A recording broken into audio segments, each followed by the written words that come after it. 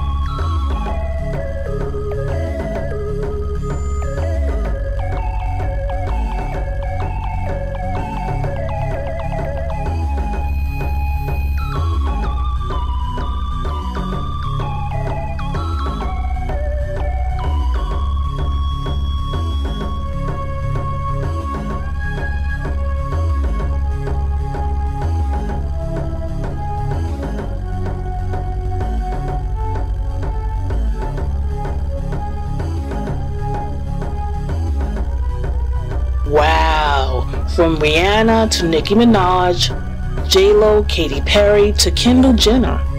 Everyone looked great. Alright guys, that about wrapped it up. Let us know who your best dress was or who was, unfortunately, the worst dressed. Send a comment if you would like. We'll catch you in the next segment. Take care. One.